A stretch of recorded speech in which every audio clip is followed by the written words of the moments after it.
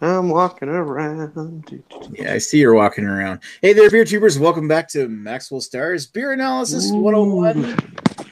Tonight, we're going to do uh, a famous UK beer from uh, all the way from England. We're going to do Wychwood's Hobgoblin. Got the bottle Yeah. versions. I must have the, cat, the can version. I'd introduced how many ABV it is, but it seems to vary. First and foremost, um, we've already been introduced to Greg, who's banging around and wandering around his apartment while we go live because he knew we were going live. First of all, it's a condo. Second of all, I just knocked my beer over, so it's probably gonna explode. Open it right now. Anyway, Chris, Okay. Chris, Chris, uh, on the Okay. Well, that's weird. Record. All right, we're good. anyway, Chris, how's it Yo. going tonight? Okay. Yo, Yo, what's going on? No, everything's good. you're. You, you got your camera working now that you knocked it over. Yeah. Well, I didn't knock the camera over. I just locked the lens or locked the shutter. But We're we're all good. good. Everything's good. Right on. All right, let's uh, get down to business here. Wychwood Hobgoblin Ruby Ale. Wychwood, the, the tale of the brewery. We'll go. Wychwood began in 1983 in Witney, Oxfordshire, when an English brewer, Here I was Paddy born. Great. Shut up. Paddy Glenny purchased the brewer, the former site of the Clinch's Brewery, uh, which closed in the early se- 1960s, um, and opened the Eagle Brewery. Output in these early days is about 800 barrels a year. In 1985, he was joined by Chris Moss, and the pair began ramping up production. Chris Moss re- later took over the brewery when Paddy Glenny left the company in 1990, the brewery was renamed after the legendary Wychwood Forest that borders Witney. In 1988, a local landlord hired the brewery to create a special beer for his daughter's wedding. Chris Moss created the original recipe for what be- would become Hobgoblin. Uh, some ale was left over after the wedding, and a firkin, uh, or a quarter barrel of the beer, was sold to the local public and became an instant hit. As the legend goes, the beer didn't have a name, so a student behind the bar drew a picture of a goblin on the on, and stuck it on the side of the barrel. Customers began asking for the hobgoblin beer, and the name stuck. Untappd calls it a brown ale. Uh, beer Advocate and Rate Beer call it an ESB. Wychwood, on the other hand, just calls it the legendary Ruby Ale, legendary Ruby beer, right, right, written right here. It doesn't even say ale. It is an ale though, and um, uh, it is brewed with chocolate and crystal malts uh, English Fuggles and Styrian Goldings for hops. Uh, the ABV varies across the world, with the original Hobgoblin from 1988 uh, weighing in at 6.5%. Is of course dropped back over the over the course of the years, uh, and now the bottle version here in North America comes in at 5.2% ABV, and uh, the can version comes in at 4.5% ABV. And I believe the cask version in, in the UK is 4.5% ABV as well. And there's also a 3.5% ABV version, is made especially for the Swedish market. Anyway, uh, Hobgoblin would go on to be the brewery's most famous beer. They would feature iconic cartoonish fantasy artwork uh, and, and employ uh, slogans such as, What's the matter, Lager Boy? Are you afraid you might taste something? In 2002, the brewery was bought by Refresh UK, which has since been bought out by Marston's. In 2010, at the G20 summit, this is a cool story. I wanted to include this. UK Prime Minister David Cameron and President Obama exchanged beers as gifts. Uh, Cameron gave Obama 12 bottles of Hobgoblin, and Obama gave Cameron 24 bottles of Goose Island. Obama remarked that uh, the me- at the meeting that he would drink his beer chilled, as opposed to the optimal room temperature that you would drink an English strong ale, uh, which resulted in Wychwood releasing T-shirts with the updated slogan saying, "What's the matter, Obama? Afraid you might taste something?" Anyway, politics aside, Wychwood also mix uh, several other beers, including the Hobgoblin Pale Ale, which Greg's got a can of, uh, the King Goblin Strong Ale, Witchcraft Blonde Ale, Black Witch Porter, Scarecrow, Goliath, and many others. They also brew beers under the brands Duchy Originals, a special brand made especially for the Prince of Wales or Prince Charles, and uh, also beers from Brakspear. Uh, Wychwood is also the largest producer of organic beer in the UK. Anyway, while I was doing my uh, beer spiel, uh, the Clueless Drinker has popped in. Hey, Peter, how are you doing tonight? Peter, He, he seems to have stepped away for a second. I but- see that. Anyway, Sorry about that. That's all right. How are you doing? How are you doing tonight, sir? Uh, not too bad. Yourselves? yeah, we're we're thirsty. I just want to say that uh, this is uh, Peter's first beer one oh beer analysis one. I do believe. Am I correct? It is indeed. And you know Long what? time coming. And it, and it just gets me aroused like crazy. You know? Gonna be some blood on the I'm saying? Yeah, Totally get some hot. All All moist. That's awesome. same here. Same here. Got a Good cliz job. I'm sitting down. All right. So moving right along, uh, we might as well start with uh, yeah, we'll start with Peter. What's your history on this beer? Um. Well, I think Hobgoblin was probably the first real ale that I started to drink properly. wow. So I don't know. I've got quite a bit of history of this beer, and Wychwood in general. To be honest, um, it's probably one of the the few real ales that I buy on a semi regular basis. Cool. So it started off because I don't know if uh, you get the box that they do in Canada called the box of character, where you get Um, We do, we do like get a that. Marston's Ontario. taster pack. uh, I think we- yeah, I think we got that here. It was like a Marston's pack, isn't it? Um, I think they do a like a Marston's one with some of the breweries, and they do a dedicated Wychwood one. Yeah, there's Okay. a character pack. Yeah, we get a Wychwood uh, four pack around Christmas.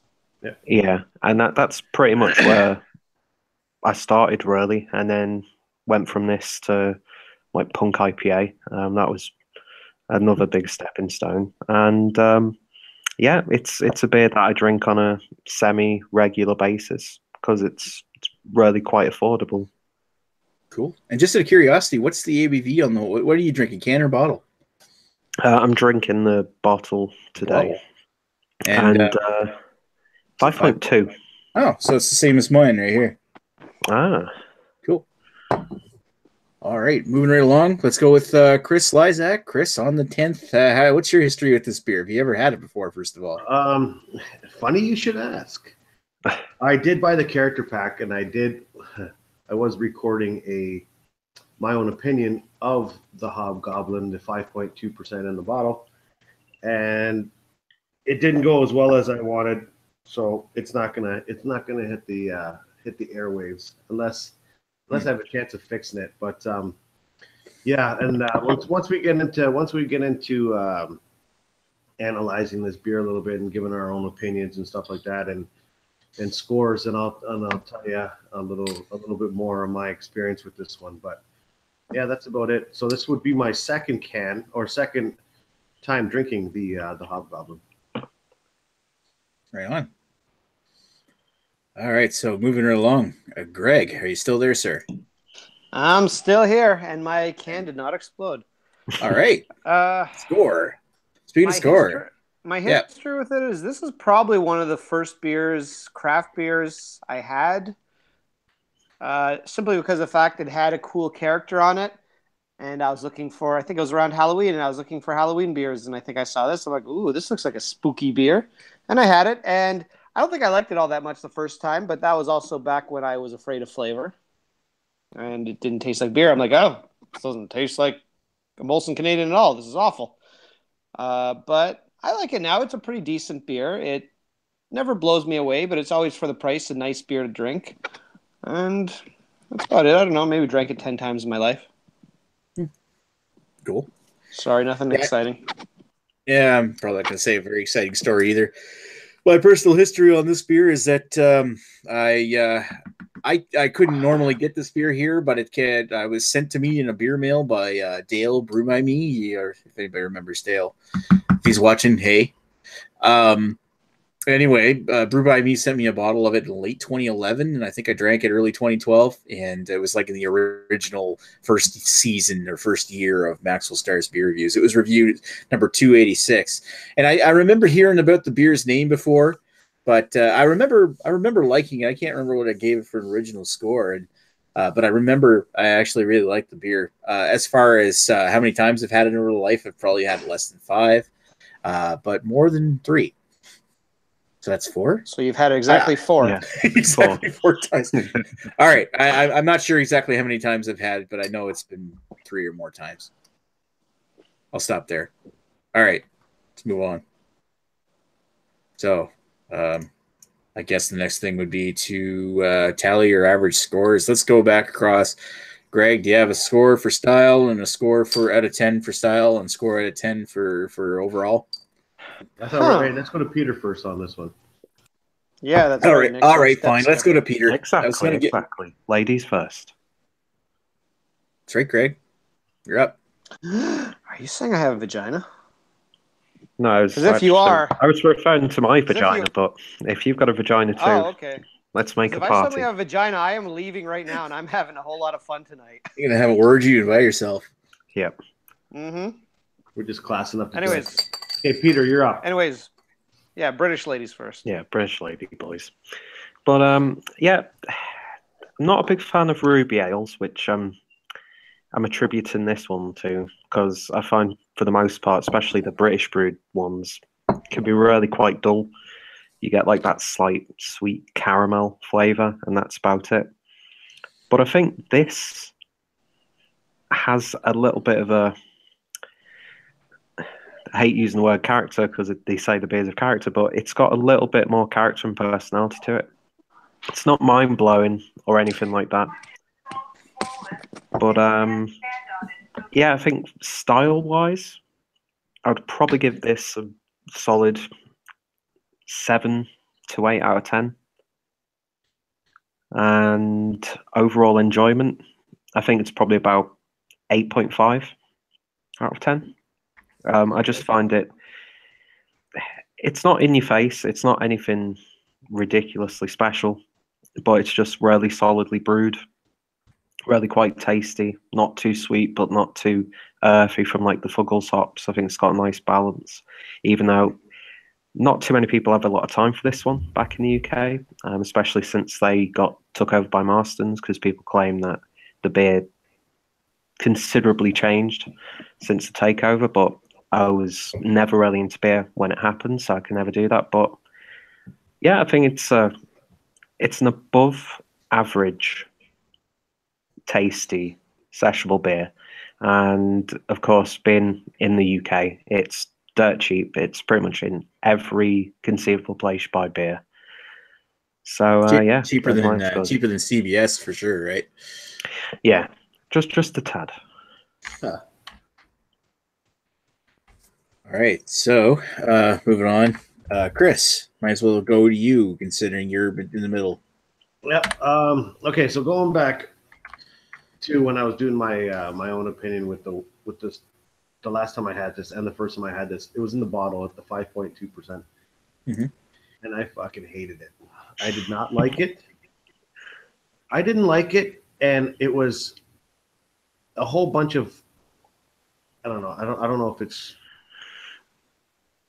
Oh, it's, it was I can't remember what I was saying during it, but I pr- pretty much the fact that it was hard to drink. I didn't like the taste of it, and I was and I literally I think I said at the end of it, I'm going to go drain for this one, and um, that was at 5.2 percent, and it wasn't it wasn't the obviously it wasn't the alcoholic astringency or anything like that. It didn't give me a burn or anything like that, but I don't know. It just didn't taste right for some reason. Maybe it was it could have been the bottle. You know what I mean? Yeah, it could have just been a Duff bottle. Bottle. Hmm. It could have been because now going over to this one at four and a half percent in the can here. On this one, I'm quite enjoying this one. There, it's not Oh, yeah. because it's not because of obviously not because of, of a burn or anything from the one before, like I said, but this one is actually quite enjoyable. And I don't know if Hmm. obviously this is a different batch than the one from the bottle with that different uh, alcohol by volume number on it, but honestly, I quite enjoy this one. Actually, eh, now that I think about it, when I hold this one up to the light, the bottle did not have this same ruby redness. It was more of a, uh, I don't know. I think it was more, More of like a brown. brown? It, it might have been, Yeah, yeah, like a murky brown. yeah. So that that could have like totally have, you know, just messed up that entire opinion video. So with this one, uh, with style, now that I know what it's supposed to be, I quite enjoy this. And for style, I'm gonna get I'm gonna give this one an eight out of ten. And for personal taste, I enjoy this. I really actually quite like this one. And again, another eight for my personal opinion on this one. So there you go. So maybe maybe I will not put that video online now because it could have been just a bad bottle. So there you go. And that's fine. actually one thing I'm really curious about, and we could talk about later, is the difference between the 4.5 and the 5.2 version. Um. Anyway, moving moving along. Uh, Greg, what's your thoughts? What do you think? Well, I overall quite like this. It's, uh, I know, like category wise, I mean, I don't drink a lot of British ales. Uh, so I don't know. To me, I'd categorize this with a British mild or something. I don't know if that's quite accurate, but that's kind of where I'd put it at. And in terms of that, I think it's actually quite good. I don't get a lot of that sort of dirty copper penny bitterness I get from a lot of British ales, which I don't normally care for all that much. Mhm, yeah. Um, I don't know. Like I, I quite like this. It's smooth. It's yeah. It's a light. It's sort of a light beer that doesn't taste like fucking Molson uh, or uh, sorry Coors Light or something like that. So I mean, overall, it's good for the style. For my limited perspective on the style, I'd say it's probably a solid eight. And for my own personal enjoyment, uh, I think I go about a seven five on it. Not quite an eight, but it's good. I like it. So eight for style and 7.5 for overall. Yeah, why not? All right, so now we have Greg's input. My thoughts on this one here is I'm almost thinking like I would like to try the one in the can at some point, uh, just to see what it's like. Because what I what I get for this, I get this from this a, a very enjoyable beer. But I mean, I I I've always I've I don't think it's very much of a secret on BeerTube that I'm a cheap drunk, and I tend to like uh, in drinking beers that I can drink like maybe like four or five good ones in a sitting rather than drink 12 crappy ones overall and just like sitting enjoying i I don't mind having a beer that's maybe a bit stronger and has more flavor to it um, with this one here uh, i find that i really enjoy the amount of caramel that's in it uh, but it's got a big rich uh, like heavy copper coin kind of taste and i kind of wonder if maybe the milder version has a less pronounced copper coin taste to it because It maybe does, it's more watery I, I don't know if it's because it's more watery, but it does have a less of a copper. But copper e- Even with you, the big don't get- copper I don't get coin- copper No, I penny don't at get all. copper at all Yeah. in mine. Yeah, I don't know. I, it's just even with that, I do I do really like this beer.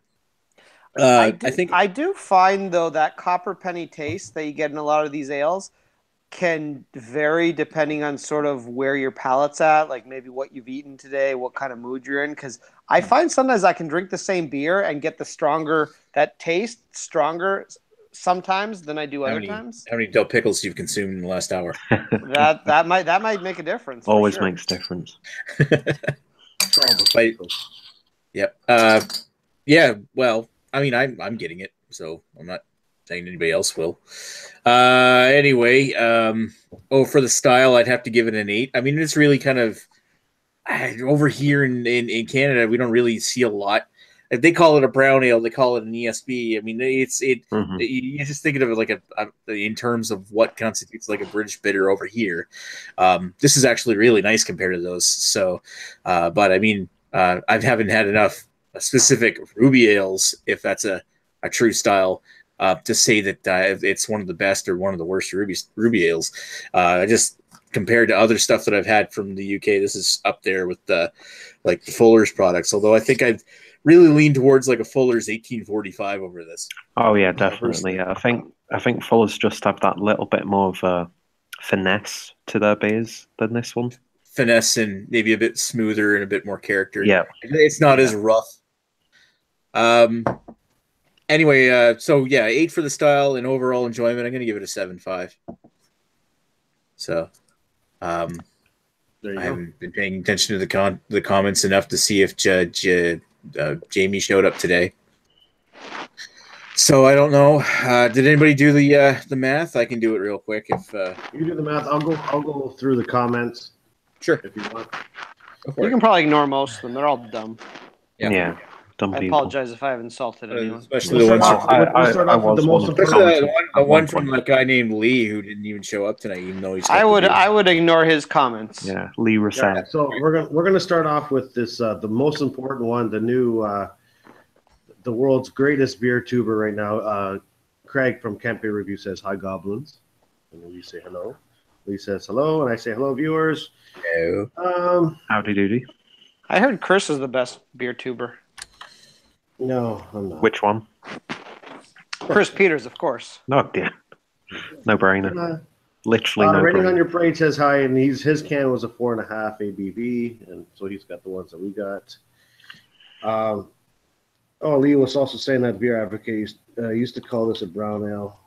Okay, uh, and it's the gun is rebranding a new rum age. Red ale coming to Canada too from Jace Westcott, and Lee responds with that might be good. Um, Craig also says it was much better before the Marston purchased, and I don't know. You can. No, I wish I could confirm that.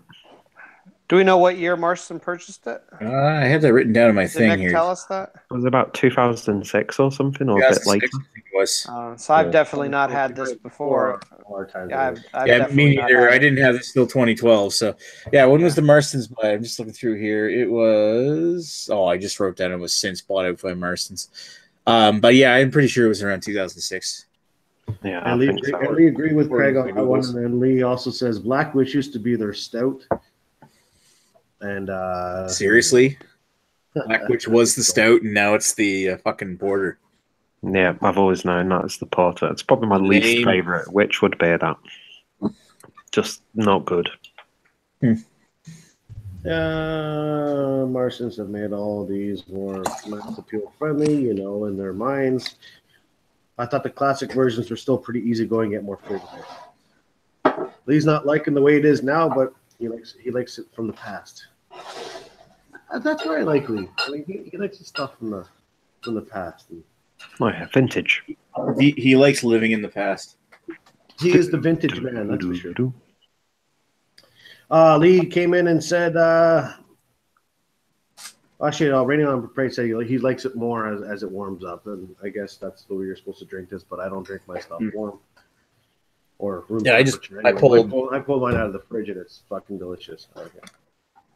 I, th- I I think beers like this are good just a couple degrees below room temperature. Not quite warm, Yeah. but not quite cold. Yeah, like I, I pulled mine out of the uh, out of the cellar just uh, which is about 10 degrees, about half an hour before the show. Yeah, I'd say that's ideal. There you go. And it's Lee, tasty. uh, All the flavors are coming out. Oh. Yeah, there you go. Lee says uh, six for style and six for overall enjoyment for, for Lee. Uh, let me see here. Oh, Lee couldn't join us. Apparently, his uh, his throat's hurting. He's getting over a cold, so we miss you, Lee. Yeah, it's it's cool. We miss you, buddy. Please, Um, sick. Thanks, Jace said he had this Don't- bottle don't last year. tolerate cold. Uh, Jace, Jace Westcott his his throat hurts because of all the beer reviews he's been doing for YouTube. The King's Yeah. returning, guys. All those beer reviews he records, but he never uploads. 'Cause oh, he- you he's know, got he's like a retired. hun- he's got like a hundred of them ready to go. He's just waiting for And Joe then to start his channel. He's got three hundred. He's waiting to get 365 of them ready to go, so he can have one a day for an entire year. Oh yeah. It might take him four years to do it. Uh, then Craig said Craig agrees with Lee there. Uh, same, I guess, same score. He's saying six for style, six for overall enjoyment. Uh, She Originals is a better Ruby Ale. Raining on Your Parade asks, "What's next week's beer?" We'll talk about that in a second. And then Yep. Lee responds with, "I'm assuming with the Marston purchase at 2008." Ah, okay. 2008. All right. Well, that's it was our close. that's our comments for today so far. All right. Unless uh, you guys want to keep commenting. No. Well, I don't know whether if for you a time guys get this artwork, but it's the they release like a my lighting's terrible, so they release like a Halloween version. Oh yeah. Oh, um, he's on the brew. Pretty yeah, much. we had a. Our batch of uh, Hobgoblin Gold had a label like that, where it had the plastic Ah. wrap around the entire yeah, bottle. it's just a plastic wrap. Is it any different? Is the beer any different, or is it? Is Uh, no, it's label a bit? it's exactly the same. It's Now, just. if you, if you peel off the wrap, is there a label like this underneath, like a normal label, or is it Um, just? A I'm bottle? not too sure. I think it's just a wrap of the a normal Wychwood bottle. Hmm. I'll have a look in a little Just a bit. regular one. Regular Yeah. one for me. And instead of having the blue and gold cap, you get a, an orange cap. Ah, there you go. I I could I could have sworn maybe we did get that here the uh, the Halloween version, but I just didn't buy it. It's actually this beer's kind of price. Excuse me, I don't know how many how much everybody else paid, but this beer's actually kind of pricey here. It was four forty, four dollars forty five cents for a bottle.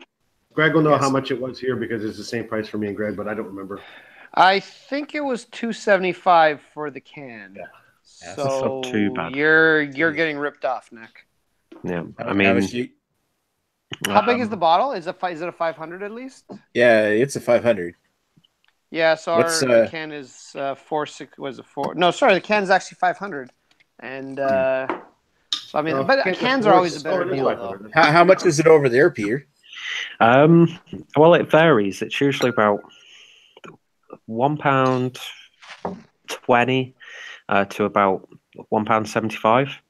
God, But then you, you, you sometimes find a lot of the Wychwood beers for ninety-nine p for a bottle, uh, especially if it's like a seasonal from last year, which they That's kind of put like a Rod J deal. Is that one. a Rod J deal trademark? Um, it's it's a very shit Rod J Rod J deal, but it's a Rod J deal all the same. But um, Southern Rajay deal. Holy shit, that's Yeah. like Well, if you less do- than two bucks.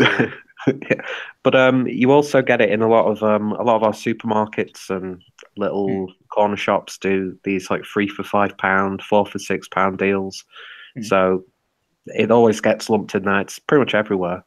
But funny enough, you can get the cans for even cheaper in a four pack for uh, three pound ninety nine. So pretty much paying a pound a can. That's good. Two bucks a God, can. we get ripped off here. You are Yeah. getting ripped off. God It's damn. crazy. Holy crap. All right. So for our final tally on our scores, we're exactly the same as far as um, out of style. It was uh, 7.85. Uh, or- yeah, 7.85 out of style, 7.85 out of uh, out of uh, overall. So either way, we we all seem to, to like and enjoy way more than Lee did. And uh, who else was in the chat? I think Craig. Yeah, Craig. Or Lee likes to be controversial. Oh yeah. Well, we know that's why we like him. I think. So we keep him Yeah, around. nonconformist. But He's, not anyway. corrupt, he's not corrupted. Not corrupted by beer. uh, he's not. He, a he's, he's, bit. he's the anti Joe. Anti Joe, yeah. He heals as opposed to corrupt. But um, I don't know if you guys get this in Canada, which is the Yeah, IPA from Wychwood. no, I never seen that. No, it was Didn't know it was initially an export only, but they've started bottling it now, and um, if you can get your hands on it, it's actually know- very surprising how hoppy it is. I would certainly try Yes. it. I would I try it once. I know the uh, my favorite beer from Wychwood is the King Goblin. I really love that one. Oh yeah, that's a good one. I'm not at that for a while. And uh, I don't know, you got Ontario guys. If you can get it, I'd recommend picking it up because it's tasty. Anyway, moving right along, we might as well um, uh, start to wrap this thing up. Read the last few comments. What are we going to do for a beer next week? I think we had agreed offline that we're going to do uh, Miller Genuine Draft. Woo! MGD baby. Peter, can you get We're- MGD? we're- Can you get Miller Genuine Draft in the UK? Um, I've seen it here and there, and then it vanishes. So I'll keep an eye out for it. Keep an eye Okay. out for it. You too. Craig, if you're watching and listening.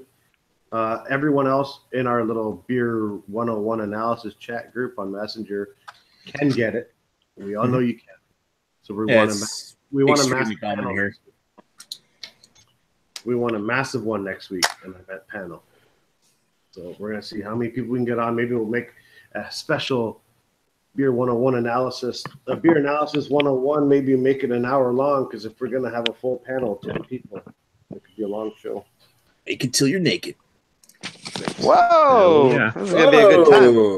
So what was the last couple uh, comments here? MGD next week. Yeah, Kent Beer Review says four pack of 500 milliliter bottle. Is it bottle? Oh, cans. Four bucks. Four pounds. Sorry. Yeah. It's insane. that's crazy. That's less, less than eight bucks you- Canadian. Long show. It's MGD. Yeah. Agreed. It's MGD. Uh, It's just- well, it could be a, it's long gonna be show, a longer ass. show because we're all going to talk about our history and all that jazz too. So uh, the, the first time you were hazed on MGD. first time you got first time you got roofied when you put a somebody put something. in. I was sitting at Whiskey Nix on a visit to on Niagara Falls. Anyway, all right. So I think um, I think uh, yeah, unless Chad's doing something, I think he's working tonight. We might as well uh, put something online as a post analysis hangout after this. I want to thank everybody who uh, who is watching. We have nine watching right now. Holy crap! How come Uh, none of you guys got this beer and joined us? Exactly, and uh, Yeah. I, I, I, I, want, I want to give credit where credit's due. Thanks for watching our crap. Um, it's it takes a lot of courage to sit through and, and, and watch this entire hour of slop. Anyway, we're gonna go. It takes get- even more courage to fap to it. An hour. That's Uh, true. What, 20 minutes? and that's why Greg is a hero. Anyway, we're gonna That's do, we're why probably you- gonna do an that's why off. you The always we're hero gonna do, nobody a, ever From wanted, the but neck everyone do needs. a, we are going to do a post analysis hangout. Uh, we'll talk to you guys in a bit. Yay, we're going All live. Woo! Cheers, fuckers. Here's everybody. Cheers, motherfuckers. I, I Cheers, cheer, but I'm motherfuckers. already My done. beer's I'm gone. already done. Uh, Mine's done too. Cheers.